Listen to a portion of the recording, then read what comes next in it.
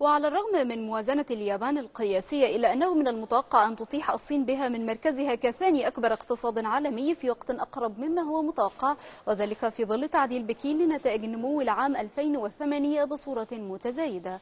وذكر المكتب الوطني للإحصاء أن الناتج المحلي الإجمالي للصين خلال عام 2008 شهد نموا بمقدار 9.6% أي بزيادة قدرها 0.6% عن التقديرات السابقة.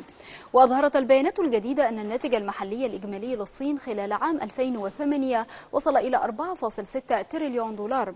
وتتوقع الصين تحقيق نمو في الناتج المحلي المالي للعام الحالي والعام المقبل بنسبة 8% على الأقل.